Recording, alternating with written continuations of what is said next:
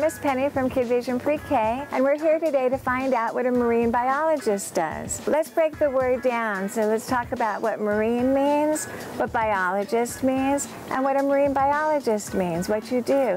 I'd like to start with you, please, if you could tell us your name. My name is Keith Herman. I'm the senior aquarist here at Gumbo Limbo Nature Center. And what does marine mean? A marine is the study of a saltwater environment, so that will be something like the ocean. And your name, please? I'm Whitney Crowder. I'm the Sea Turtle Rehabilitation Coordinator. And how about biologists? That would be the study of life on Earth. And please tell us your name and what does marine biologist mean? I'm David Anderson. I'm the Sea Turtle Conservation Coordinator here at Gumbo Limbo Nature Center. And a marine biologist is one who studies all life in the ocean or in other saltwater environments. So what specifically do you do? I take care of the fish here in the aquarium, so uh, we make sure they're happy, healthy, and well fed. And I manage the Sea Turtle Rehabilitation Center, so I'm in charge of all of our rescues of sea turtles, all of the rehab and releases of our sea turtles. I monitor all five miles of Boca Raton's beaches for all the sea turtle nesting activity that takes place. We look for evidence that sea turtles came out of the water overnight and we mark the location of the nest and protect them all the way through and, until they hatch. What motivated you or inspired you to pick your field of work? My parents like to tell me a story that when I was little, uh, they asked me what I wanted to be when I grew up, and I told them I wanted to be a killer whale. I didn't quite make killer whale, but taking care of fish is pretty close. Well, my family used to spend vacations at the beach all the time, so I was very interested in uh, all the activity that was taking place along the beach. So when I was in college, I began studying sea turtles, and then when I moved to South Florida, I began volunteering at Gumbo Limbo Nature Center, and now I get to work here and protect the sea turtles on our, that nest on our beach. And how about you? Ever since I was a little girl, I've wanted to be a voice for animals, and now I can be. Well, I'm very excited to be at Gumbo Limbo to learn more about what marine biologists do. And we're going to spend a little bit of our day with each of you so that we can find out more about what you do. Sounds that great. great. Good. I think we're going to start on the beach.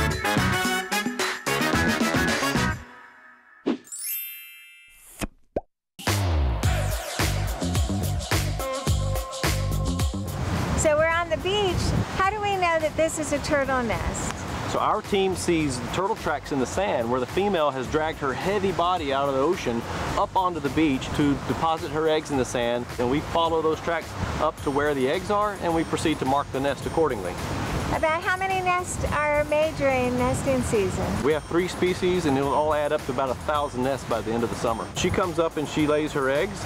She will return back to the water and she will go and rest and, and, and feed and forage and sleep and, and for a couple of weeks and believe it or not, she will come back and lay another nest. The same female turtle may lay multiple nests in one summer. So she may lay four, five, or even six nests. How many eggs are in each nest? Each nest has about 100 eggs in it. So that's like 600 eggs from one mom. Exactly. We must have a large turtle population. Well, turtles are endangered species, and we must uh, do what we can to conserve uh, the turtles and, of course, protect the nest. And when the babies come out, how many of them make it to the water? Well, of the 100 eggs, normally about 90 of those 100 might hatch. Most of them might actually make it to the water, but once they get into the ocean, there are a lot of predators out there. Mm. But some of the things that might prevent them from getting to the water are some of the predators that are on land. We do have foxes and raccoons, but one of the biggest problems is artificial light pollution. Hatchlings use a glow in the sky to find their way to the ocean.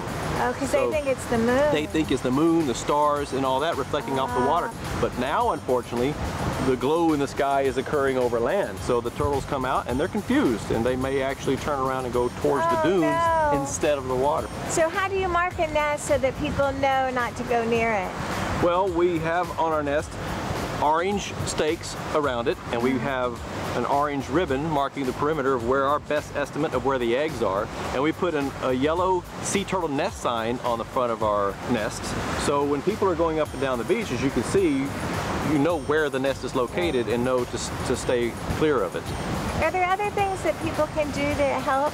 People can prevent light from shining onto the beach at night, whether it's uh, outdoor lighting at your home or not using a flashlight on the beach. It's very important to keep our beaches nice and dark at night. We can reduce the amount of plastic we use. We often find turtles with plastic in their stomachs, particularly what we call post-hatchlings, turtles that have hatched out of the nest gone and lived a few weeks out in the ocean and unfortunately consumed lots of tiny bits and pieces of plastic. Oh. They become sick and weak and they wash up on the beach. And sometimes beach goers just like you may find one and call us and we will take it into our rehab center.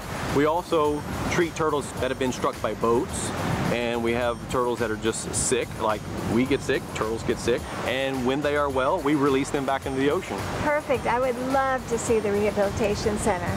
That sounds great. Look forward to taking you there. All right.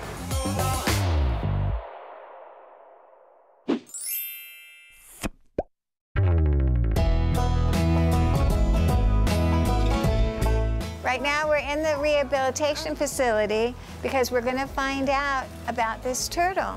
We have a marine biologist with us and a veterinarian, and they've been working on this turtle trying to make her well. So let's find out what was wrong with her and how she's getting better. So this is a green sea turtle. Her name's Gamora. And when she came to us, she was very thin and she was sick. And she had tumors on her, on her flippers and her eyes and her shell.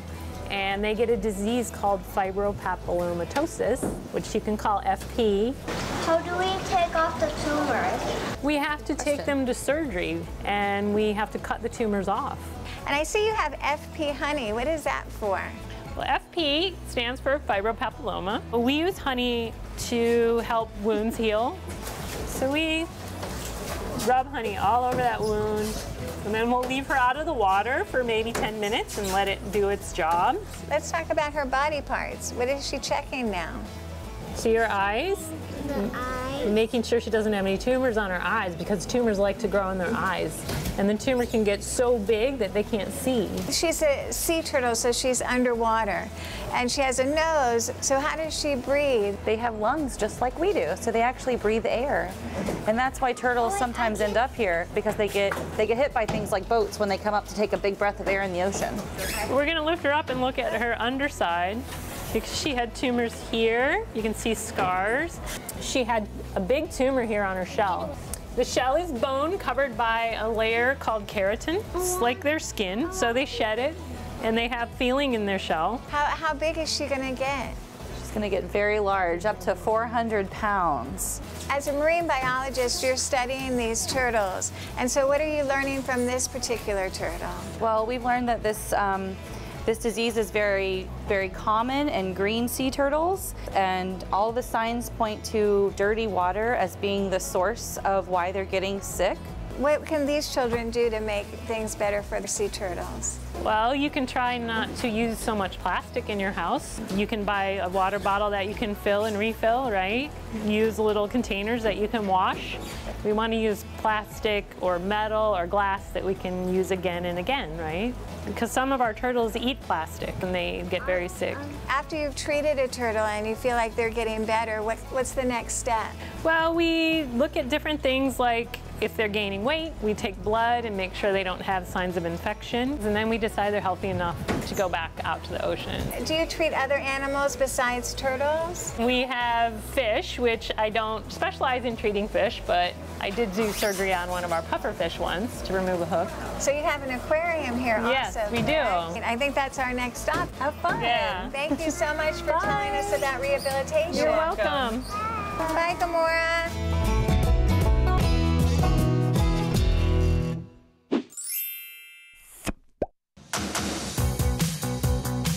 Today we've been at Gumbo Limbo learning a lot about what marine biologists do. It's so interesting to find out how they rescue and take care of, rehabilitate turtles. What do you do here at the aquarium? So all of our fish are from the wild. We call them ambassadors for their wild cousins. Not everyone is able to go out into the wild to see these beautiful animals, so we are recreating their environment here so you can come and enjoy them. What kind of fish do you have here? This is what we're calling our coral reef tank. So we have a lot of reef-dwelling creatures, including wrasse, parrotfish, angelfish, tangs, and our large eel that might come up and eat for us here. I hope the eel comes. Me too. All right, who's your helper? This is Brian Danson. He's the other half of our aquarium team here at Gumbo Limbo. He and I take care of the aquariums and keep the fish happy and healthy. And what are we feeding them? Small silverfish called capelin and pink shrimp from the Florida Keys.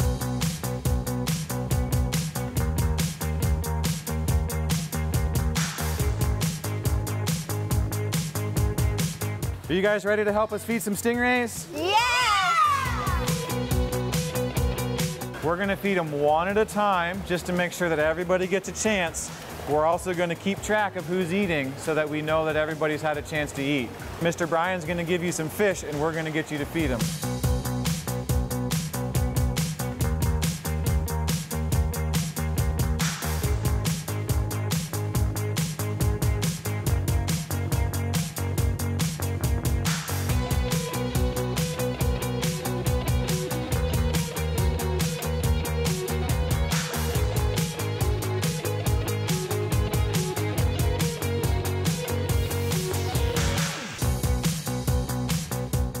Thank you very much for showing us how to take care of fish and how to feed them well and so that they live a long natural life here and other people can see who they are. You are so welcome. Thanks for visiting us. Today we were at Gumbo Limbo learning about marine biologists.